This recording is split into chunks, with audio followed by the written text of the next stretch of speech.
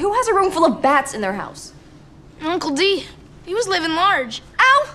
Ow, ow. I haven't even touched you yet. Yeah, well, just do it already. Okay, but you have to stop moving. Got it. It's gnarly. Oh.